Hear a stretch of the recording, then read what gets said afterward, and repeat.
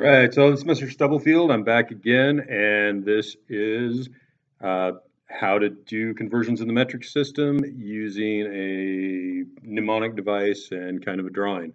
So the way that this goes is you can remember that there was this dude. This dude was a king. His name was King Hector, and he doesn't usually drink chocolate milk.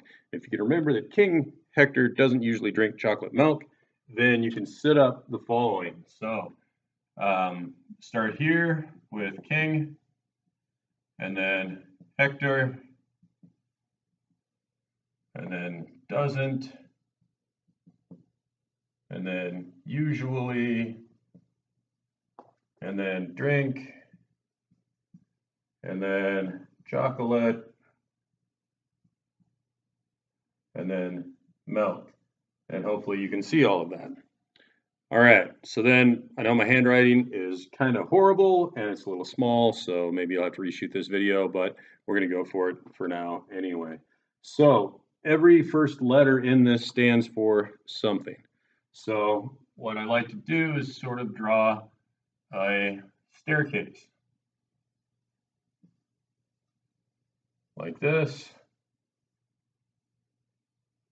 And that way you can write in what these um, what these values are and what they mean and what they refer to. So in this case, king stands for the prefix kilo, like a kilometer, a thousand meters.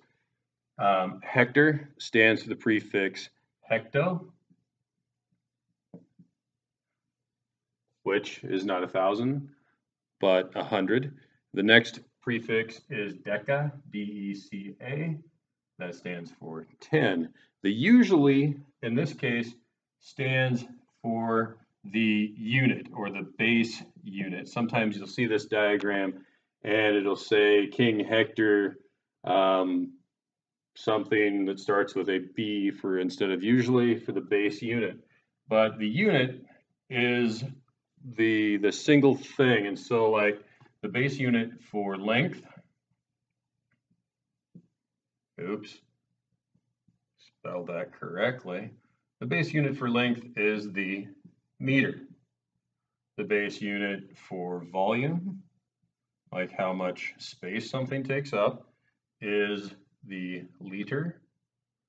And then the base unit for mass, and some would say weight, but there's of course a difference between weight and mass. The base unit for mass is the gram in this case. So each one of these um, units, when it's right here, when you're right here, that's one. So if we put one meter right here, or it could be one liter or one gram, one goes right here on this little staircase, okay? So then the usually stands for the unit, drink stands for, the D in drink stands for the prefix deci, D-E Not to be confused with D-E-C-A, deca. And then chocolate stands for centi, like centimeter. And then finally, milk stands for the prefix milli, M-I-L-L-I. And then, so values. If this value, if this is 1, then going this way, this is 1 tenth of that. Centa is 1 one hundredth of that and milli is one one thousandth of that. Going the opposite way, deca is 10, so a decameter is 10 meters, a hectometer is 100 meters, and a kilometer is 1,000 meters. If you wanted to take this out even further, you could add, he doesn't usually drink milk Monday night, and if you did that, you could add in micro, which is 1 1 millionth, and nano, which is 1 1 billionth, or 10 to the minus 9. But you don't necessarily have to know those necessarily. So, all right, so then how does this work? How do you do this? What do you do in order to convert units back and forth? Well, if you know what unit you have and you start with, then if you're moving down the stair step, what you're going to do as you move down is you're going to multiply whatever you have by 10. So going, going to erase this big arrow and going down this way, you're going to take every single step is times 10 times 10 times 10 times 10 times 10. But going this way, to where the units are getting larger, you're going to be dividing by 10 each time. So not super difficult to do, but let's look at an example or two. So I live about um, probably 15 kilometers from the school. So because I live 15 kilometers from the school, that might be a unit that we want to know how many um, how many meters that is.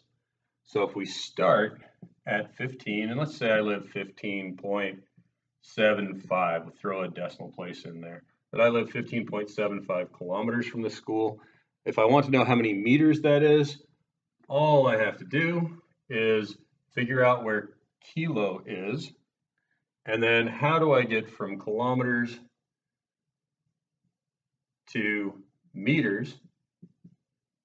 Well, kilometers is on this step, so I've got to multiply this number times 10 times 10 times 10 to get to meters.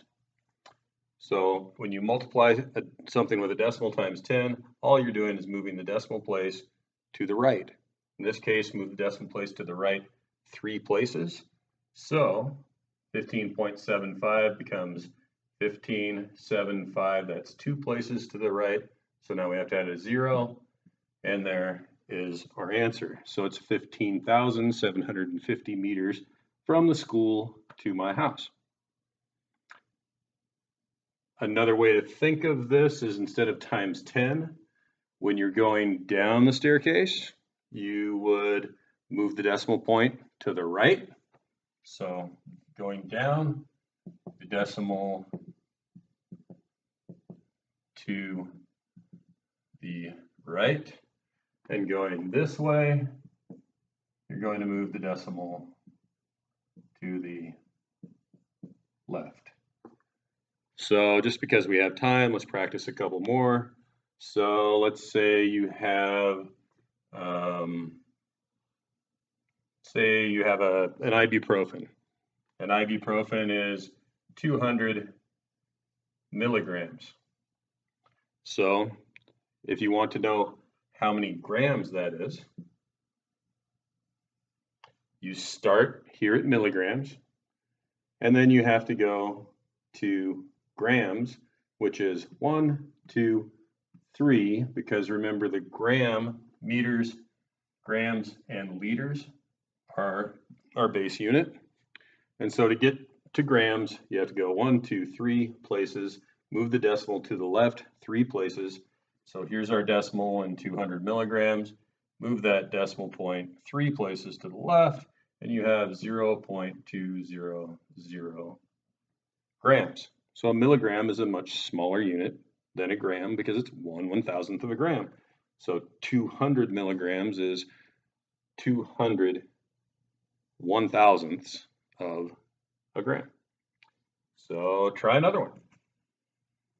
Let's use one of the ones that's not often used very much, like maybe if you have um, 150 deciliters is equal to how many milliliters? So go to where you're starting with deciliters. How do you get to milliliters? You go one, two places to the right with the decimal, or you're going to, as you're going down the staircase, times 10, times 10. So 150 deciliters that's 150.0. To move the decimal place to the right, two places, from deci to milli, we're going to go 1, 2. So we're going to put the decimal place there.